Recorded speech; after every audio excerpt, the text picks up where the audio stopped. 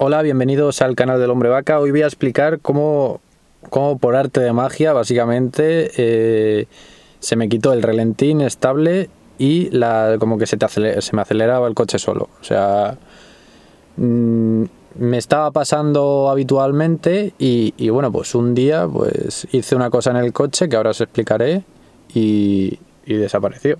O sea, cosas que pasan, que pueden pasar, de hecho. Bueno, de hecho, cuando arrancaba el coche y demás,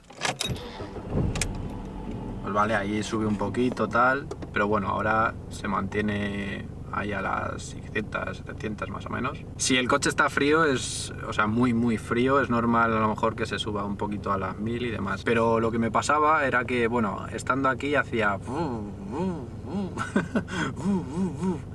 Y, entonces como que bajaba entre los 500 y bajaba a 400 se me calaba, a veces pasaba de los 1000 para arriba, no sé qué, y a veces, o sea, sin tener nada a cuento, en plan de se aceleraba solo, sin pisar el acelerador, el, acelerador hacía boom y subía a veces casi hasta los 2000.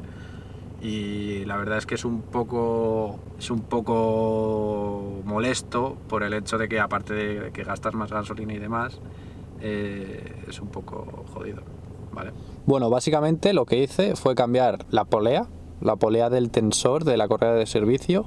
Al estar básicamente jodida, eh, hacía una presión mayor sobre, pues sobre el recorrido que hace y demás. Hacía como un tipo de descompensación general. Entonces, eh, yo creo que a base de eso, o sea, a base de esa descompensación que, que se hizo, pues en plan de, pues, pues se curó mi coche. Porque la verdad es que no le he hecho nada más en plan de, tema de mecánica y no sé qué. Os dejaré el link por aquí o por ahí para, que sepáis exactamente eh, lo que cambié del coche. Porque al parecer en los BMW es muy común que tengan el relentí inestable, puede ser la válvula del relentí o puede que haya alguna fuga pues en el circuito de, entrada de aire y bueno, eso es lo primero que hay que mirar, si hay algún tubo roto, eh, hay cualquier cosa defectuosa y demás. Eso, es lo primero que hay que mirar. Luego ya, si te quieres meter la válvula del relentí y cambiarla y todo eso, pues también, a ver, es aconsejable. Y también, pues es que eh, por este problema pueden ser mil cosas, básicamente.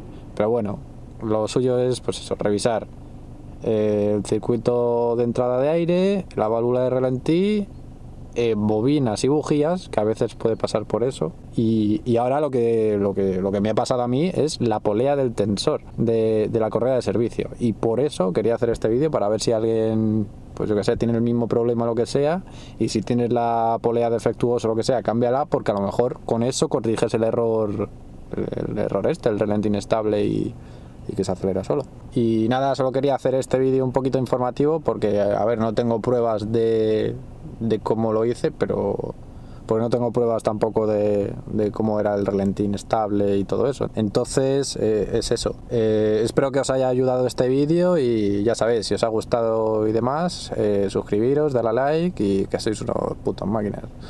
Y nada, muchas gracias.